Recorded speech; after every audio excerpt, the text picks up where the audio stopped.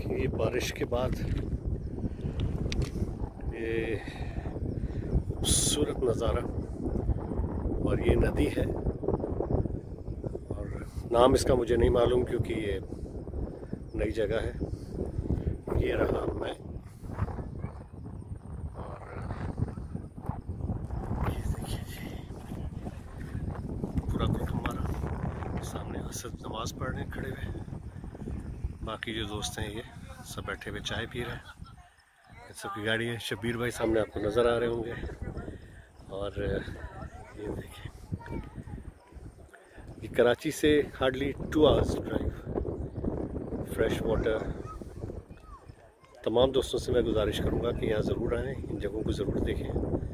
और, ज़रूर यहाँ पर कैंप करें इंजॉय करें। खूबसूरत जगह।